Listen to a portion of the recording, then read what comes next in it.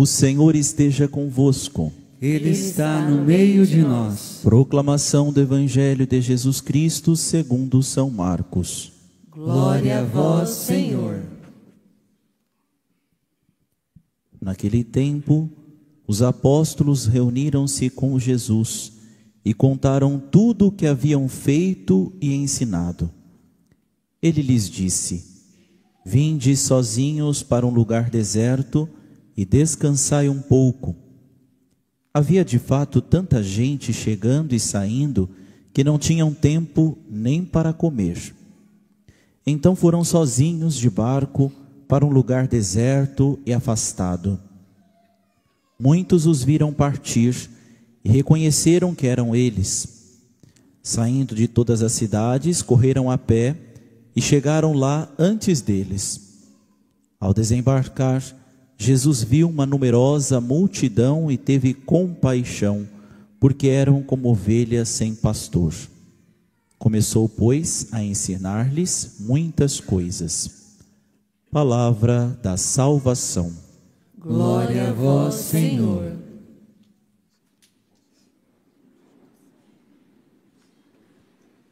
Queridos irmãos e irmãs, hoje a liturgia da palavra nos ensina que o Senhor é o bom pastor que nos conduz e aqueles que se colocam como seu rebanho, que escutam a sua voz, que se colocam dentro deste redil, certamente estarão seguros.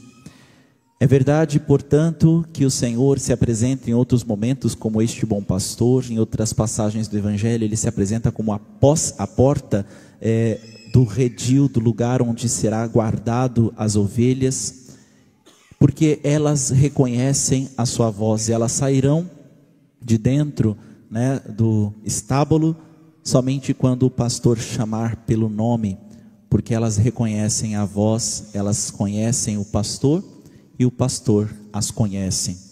Por isso, inclusive, um dos motivos que as portas das igrejas, especialmente a principal, a do meio ou algo assim, né, sempre tem um tamanho um pouco maior, sempre deveria abrir e não correr, né?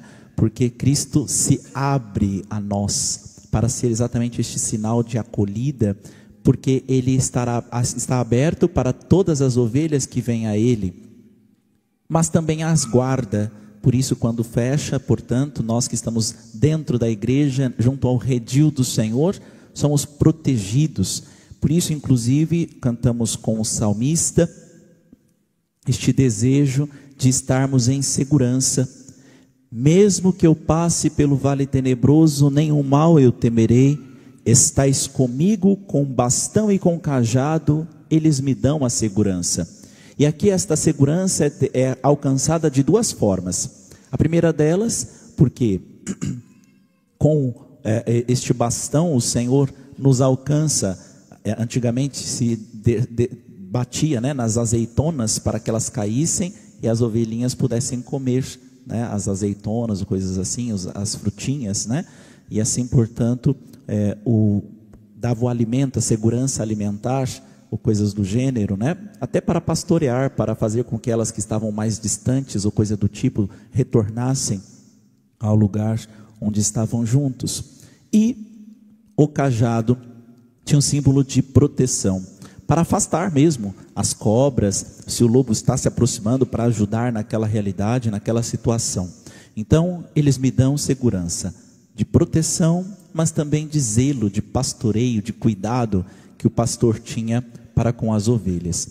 Jesus, portanto, é este que nos guarda, nos zela com aquilo que é necessário no sentido é, do alimento, no, no sentido da vida espiritual, mas também de proteção. Por isso que daqui a pouquinho nós iremos ungir, por exemplo, estas crianças que serão batizadas com o óleo dos catecúmenos, ou seja, o óleo do batismo. Este óleo que é ungido, é passado no peito, quer recordar exatamente este, esta proteção divina que nós queremos dar, a força que vem de Jesus para que eles possam escorregar mesmo das ciladas diabólicas. Né? Veja, o diabo está como o leão a rugir, pronto a devorar. Isso está escrito lá na carta de São Pedro. está pronto. E ele vem a todos os instantes tentando verdadeiramente perder a nossa alma, fazendo perder realmente a nossa vida em Deus. E portanto, este óleo quer recordar, quer lembrar, assim como antigamente os soldados passavam né, o óleo no corpo inteiro, para que assim, quando entrasse em combate corporal com outro combatente, com outro guerreiro de outra nacionalidade, ele pudesse escorregar, né? ou quando o outro tentasse pegá-lo ou coisa do tipo, ele escorregasse. Também, portanto, este óleo que é ungido no nosso peito, quer lembrar, através do sacramento do batismo, as chances e oportunidades que o Senhor nos dá de escorregarmos das ciladas do demônio, para que o nosso coração jamais esteja sob a posse, sobre as garras do diabo. É por isso também que às vezes em outros salmos nós escutamos o sonda-me, Senhor. Este sonda-me quer sim recordar o sentido de sondagem, né, de que ele, o Senhor nos guarda, ele fica andando próximo de nós, ele nos sonda, né? Mas também o sentido de sonda mesmo quando a gente precisa ir ao médico e às vezes não estamos conseguindo comer, por exemplo, e é preciso passar uma sonda, né? Então, esses dois sentidos que o Senhor quer trazer à nossa realidade, à nossa vida. Trazendo tudo isso, nós escutamos na semana passada, no domingo passado, no Evangelho particularmente, Jesus que chama os doze apóstolos e os envia dois a dois para evangelizar em todas as, as casas e cidades onde ele mesmo deveria ir e fazer algo que era poder, tinha autoridade por parte do próprio Jesus. Vocês irão anunciar, portanto, a boa notícia do reino, mas também terão autoridade para expulsar demônios, para curar. E isso fez com que muita gente acolhesse verdadeiramente o evangelho muita gente acolhesse verdadeiramente a boa notícia do reino e fez, portanto, com que os apóstolos ficassem conhecidos. Né? E veja, minha gente, não é que eles fizeram um encontro, um retiro, um acampamento, ficou dias falando sobre Jesus, não, uma pequena passagem. Né? Eles passavam de casa em casa, falavam sobre Jesus, sobre o amor que ele vem pregar, que ele vem anunciar, sobre a conversão, arrependimento, e é isso. Bora para outra casa. E isso faz com que as pessoas ficassem sedentas, ficassem desejosas de estar, de permanecer com Jesus, de querer verdadeiramente é, fazer esta experiência com Jesus e estar com Ele. E aí, depois que os apóstolos retornam muito animados com aquela realidade, porém cansados, né? Veja que eles não, não tinham tempo nem de comer aqui, porque o povo começou a vir procurá-los, né? querer saber, querer escutar. E olha, os apóstolos reuniram-se com Jesus e contaram tudo o que haviam feito e ensinado. A gente só ama aquilo que conhece. Então eles ensinaram sobre Jesus e as pessoas começaram a amar Jesus. Começaram a desejar estar com Jesus. Começaram a querer ficar com Jesus. E aí começou então a procurá-los. E eles estavam, portanto, cansados, apesar de não desanimados. Há uma diferença grande né, entre desânimo e cansaço. Desânimo e cansaço. Muitos de nós estamos e verdadeiramente nos encontramos cansados, né? Por conta de uma semana pesada, de uma, uma, uma alguma situação puxada que tivemos nessas, nesses últimos dias.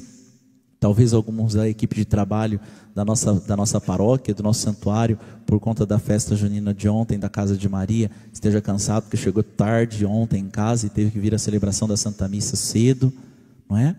Tantas destas realidades. Mas nós não podemos deixar, permitir que o desânimo tome conta e posse do nosso coração. O desânimo faz, minha gente, com que a gente comece a se afastar da graça, se afastar da misericórdia e aí faz com que o cansaço prevaleça.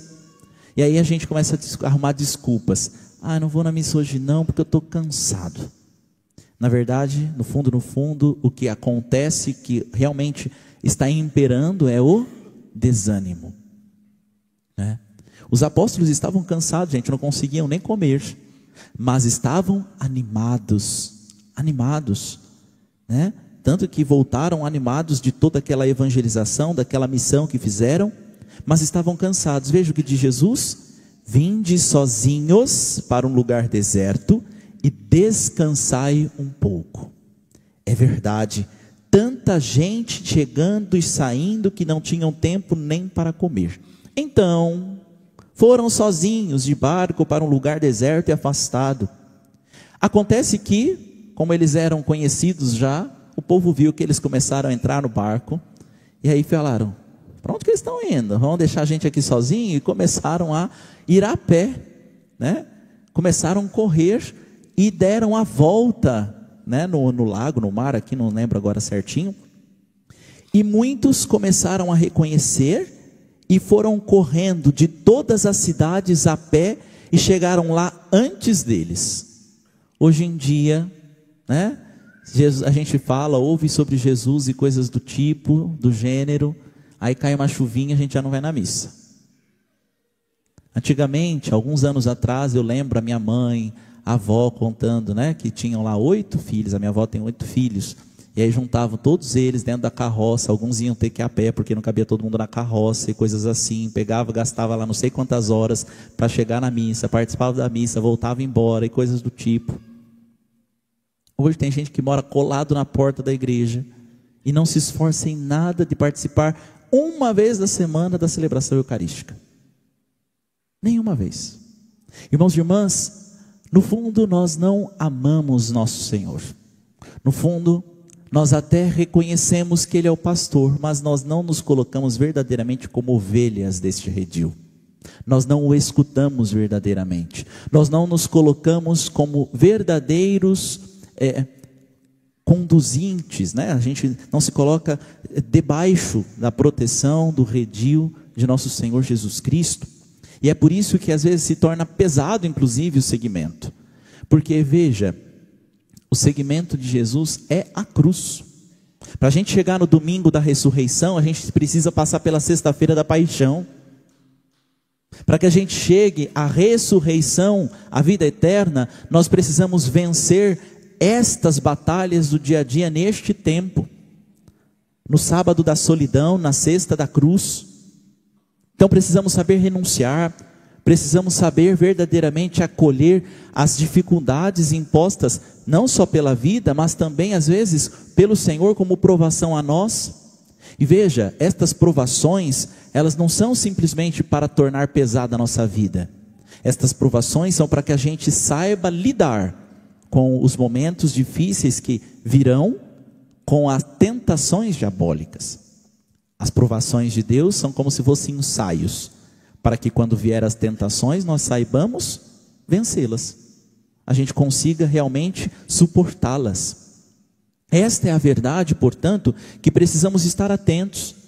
E Jesus, portanto, ao desembarcar com os apóstolos, viu esta grande multidão e teve compaixão. Há uma diferença entre compaixão e dó. Dó a gente fica, ah, que pena, não é mais fazer o quê? É, é a vida. Tem gente que olha, por exemplo, o que aconteceu no Rio Grande do Sul, que ninguém mais fala sobre isso. Ninguém mais. Né? Ninguém toca mais no assunto. Será que realmente já tem tudo que eles precisavam lá? Será que realmente já construíram a casa, já estão vivendo numa cama boa, bonita, tranquila? Certamente não, mas a gente nem liga, nem reza mais com, por, por eles. Nem mais isso. No fundo, no fundo, a gente sentiu dó. Dó. Viu que tinha sobrando em casa, viu que tinha sobrando alguma coisa, pega e manda. Só. Nada nos faz verdadeiramente mover em direção àquilo que necessita. Como Jesus sentiu compaixão, ou seja, sente a mesma paixão do outro, e isso me faz mover em direção me faz sentir realmente aquilo que acontece. Há esta diferença gritante entre sentir dó e sentir compaixão. Irmãos e irmãs, Jesus, depois de, portanto, sentir esta compaixão, este mover de espírito, este estremecer de alma, começou, pois, a ensinar-lhes muitas coisas. Alguém pode dizer assim, ué, mas por que será que Jesus começou a ensinar? Talvez eles precisassem de comida, quem sabe eles precisassem de cura, eh, de milagres, de prodígios e tantas coisas. Ora, o que eles mais precisavam naquele momento era aprender. Simplesmente aprender, escutar Jesus. Ou seja, se colocarem como redil do Senhor.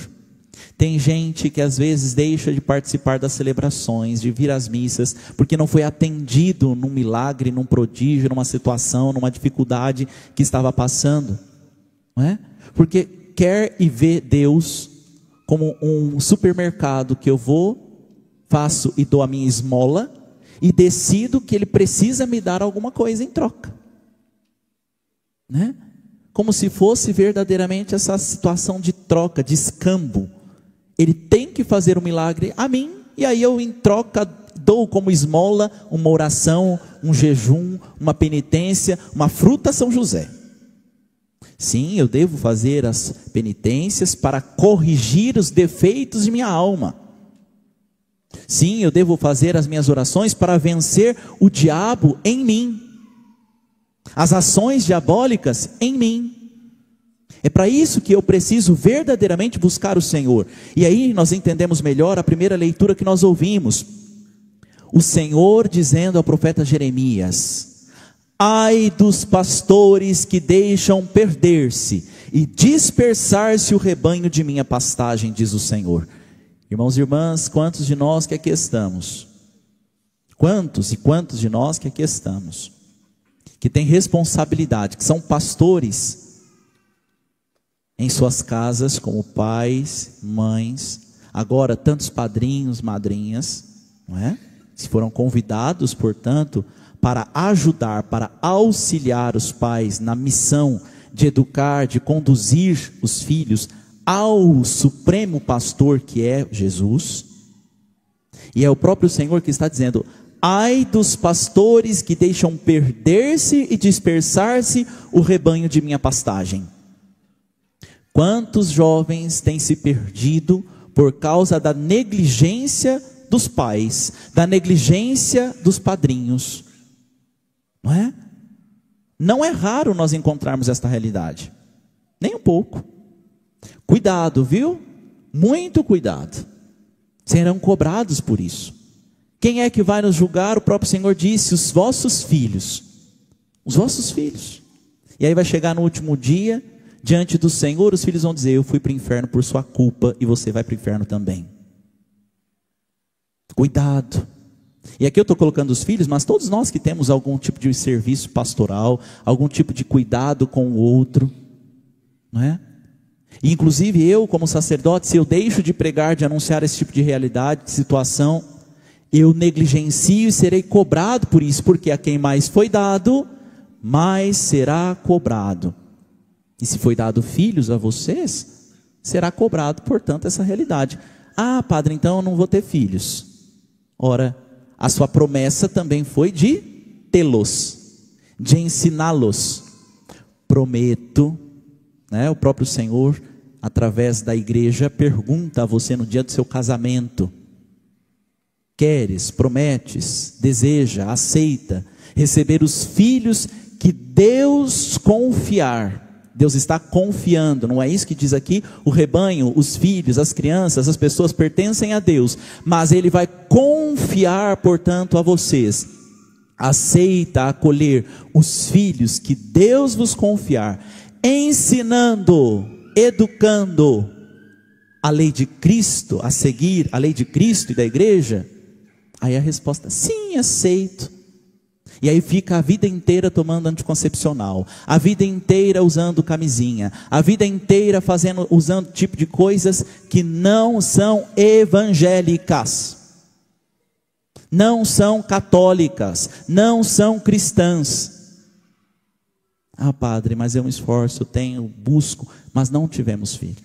Isso é outra história, isso é outra realidade, isso é outra situação. Mas você simplesmente cortar esta realidade, a generosidade, um dos motivos pelos quais você se casou, mentindo, portanto, diante do altar. Percebe? Deste modo, isto diz o Senhor: Deus de Israel aos pastores que apacentam o meu povo. E aqui não importa o tamanho do seu rebanho, do tanto de gente que foi colocado sob seus cuidados. E aqui eu quero incluir também patrões, Não é?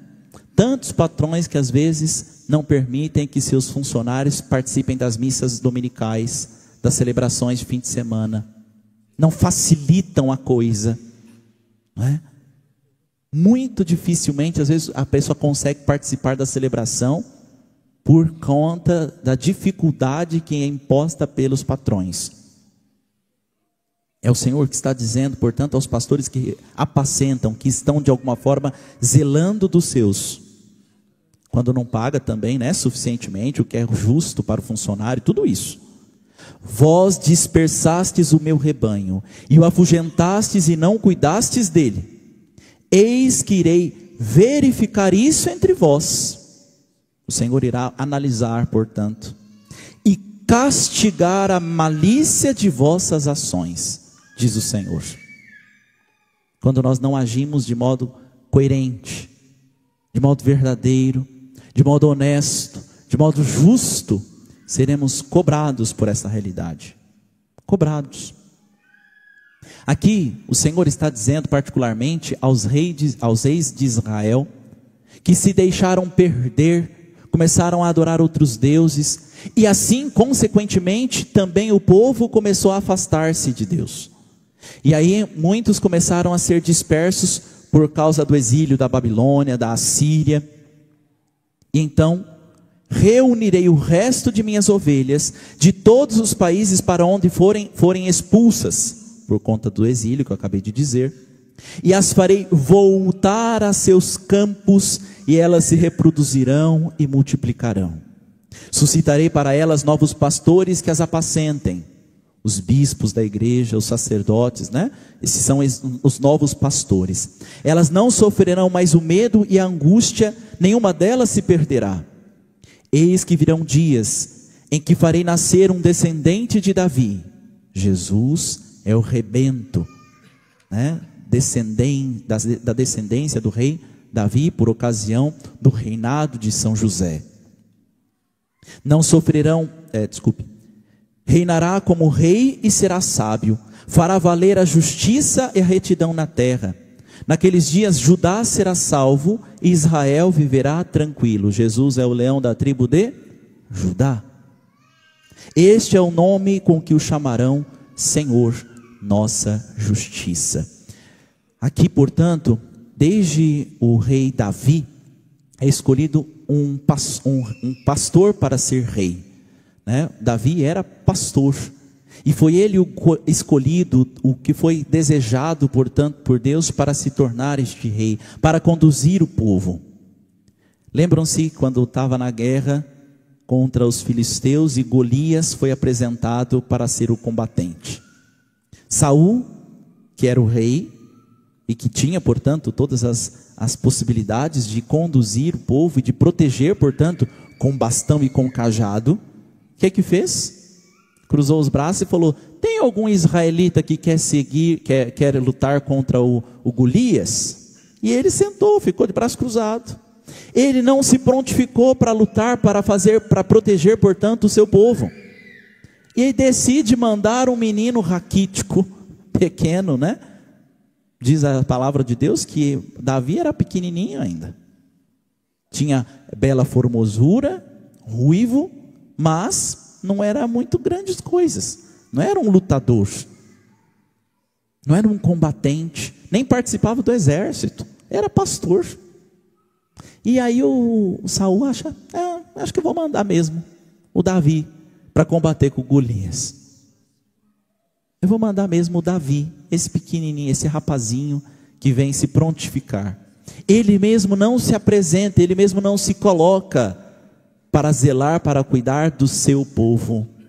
E por isso então, Davi vai, vence o Golias, e aí entenda, ele inclusive começa a caçoar de Davi, né? Acaso sou cachorro para, para vir a mim com paus e pedras? Né? Eu que sou paramentado todo para a guerra, para o combate, você vem com, com, com pedras? E aí nós sabemos qual é a história, né? Qual foi a finalidade? Com uma pedra somente, ele vai, taca e afunda na testa daquele gigante, né? Onde ele cai morto, desmaiado, E logo na sequência, Davi então vai e corta a cabeça dele. Protege, cuida, verdadeiramente daquele que foi, daqueles que foram colocados sob seus cuidados. Então está aí nele o verdadeiro rei, o verdadeiro, que, o verdadeiro pastor que deveria conduzir o povo de Deus. E por isso então o Senhor vai dizer a Davi que ele iria suscitar da sua casa alguém para conduzir. E nós sabemos que Jesus é este pastor porque ele mesmo se apresenta. Eu sou o bom pastor que conduz, que as ovelhas me escutam. Elas se deixam conduzir. Eu que conduzo para verdes pastagens, para águas correntes. E minha gente, muitos de nós estamos é, acha, acomodados, bebendo poça d'água, bebendo né, um, um lamaçal, acham que é suficiente, quando o próprio Senhor está querendo conduzir a cada um de nós sedentos, sedentos, para, para águas correntes, cristalinas para uma fonte de água viva que é o próprio Senhor, que sacia a nossa sede, que sacia a nossa fome, que dá de comer, portanto, com a fina flor do trigo. Precisamos verdadeiramente buscar conhecer Jesus, fazer a experiência pessoal com Ele e assim querer, desejar, ficar ansiosos por permanecer, estar, ficar com Jesus e, e, e levá-lo ele para casa também, conduzir em todos os lugares que a gente vai. Nós não podemos ser o tipo de católico que usa o catolicismo como se fosse um chapéu. Eu entro na igreja, coloco o chapéu do ser católico, participo da missa, tudo mais, vivo a minha fé. Aí quando eu vou sair, tiro o chapéu, agora vivo a minha semana. Eu sou católico, ou deveria ser a todo instante, em todos os momentos. Eu sou cristão e eu acredito, portanto, nas verdades da fé, na lei, na justiça, na misericórdia do Senhor em todos os instantes, em todos os lugares. E é isso, queridos irmãos e irmãs, pais e padrinhos, que precisam estar verdadeiramente atentos. Padrinhos, vocês foram escolhidos, talvez, né, para algo que, ah, eram muito próximos, eram amigos, isso e aquilo mas é imposto, vocês são revestidos de uma autoridade sobre estas crianças. Autoridade. E, tal, e talvez uma autoridade até sobre os pais, para conduzir, para cobrar deles, inclusive. Né? Já contei isso inúmeras vezes, inúmeras, muitas vezes. Que uma prima me escolheu para ser padrinho né, do Vitor Hugo, que é o primeiro dos meus afilhados. E eu disse a ela, eu falei assim, tem certeza que quer? Eu ainda era seminarista. Ela, não, quero sim. Tá bem. Quando ele tinha mais ou menos uns quatro aninhos, que eu fui fazer uma visita, agora ele já tem oito, né? Mas eu fui fazer uma visita quando ele tinha uns quatro aninhos, e logo que eu cheguei, ele já denunciou a mãe, né? Dindo, a mãe não me levou na missa hoje. E aí ela, fica quieto, menino. Mas já tinha denunciado, e aí eu fui puxei a orelha dela. Ora, não foi ela mesma que pediu e eu tinha que ajudá-la a conduzir a salvação, ele, né? Então, enquanto ele está sob a responsabilidade dela, eu tenho que puxar a orelha dela. Então, os padrinhos têm sim autoridade sobre os pais. E pais, não adianta ficar chateadinho não. Foi você que escolheu eles. Né? Foi você que falou assim: ah, eu quero que vocês me ajudem a educar minha criança na fé de Cristo e da igreja. Né? Desejo verdadeiramente que vocês me ajudem a salvá-la. Me ajudem a fazer com que realmente sejam conduzidos na fé da igreja. Que eles sejam batizados hoje, mas que vivem, vivam o batismo em todos os dias da vida. E aí vai cobrar entrar na catequese, vai cobrar se está rezando a missa, se está participando da missa, se tem uma sagrada escritura. Inclusive, eu acho que presente de padrinho e madrinha tinha que ser na data de batismo. Na data do batismo. E sempre relacionado à fé. Ah, mas é tio também, coisa assim? Outra história. Mas por ocasião de ser revestido de padrinho, se eu vou lembrar, se eu vou ofertar alguma coisa, eu tenho que lembrar, inclusive, a data do batismo do meu afilhado. Sabe, falar para ele, olha, o dia que você nasceu para Deus, que você deixou de ser criatura, já era amado como criatura, mas agora como filho de Deus, você passou a ser, é, fazer parte da herança do Senhor, co-herdeiro com Jesus Cristo. É para isso que servem os padrinhos, portanto. E assim, verdadeiramente, cumprir este mandato, este revestimento, a bênção que é derramada sobre vocês também, particularmente no dia de hoje. Torna impossíveis as coisas impossíveis. Valeu.